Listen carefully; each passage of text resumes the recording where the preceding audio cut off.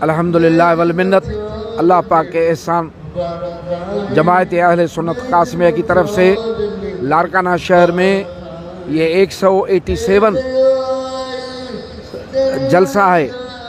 شہداء کربلا کے شان میں، جناب باغ میں یہ ہر سال منایا جاتا ہے۔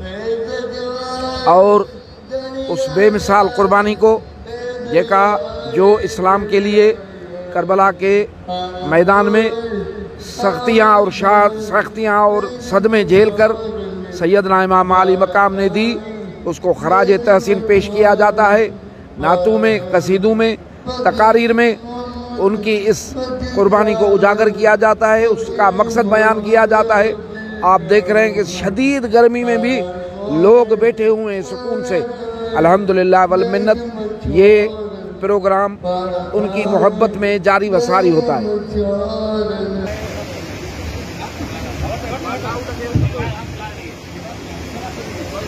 جی